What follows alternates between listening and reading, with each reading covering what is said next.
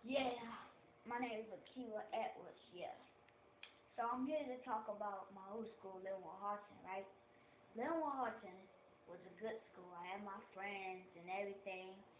When I was in third grade, I had a crush. Then, fourth grade, I got a, another crush.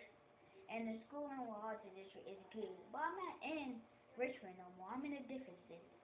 So, the school that I'm in, it's good, but it's not as good as Linwood Holton. I will give Linwood Holton a good thumbs up, not a bad thumb. I give him a good thumb.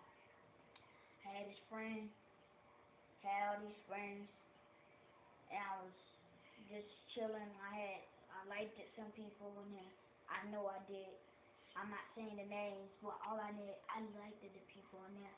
And Linwood Holton was a good school. I loved it.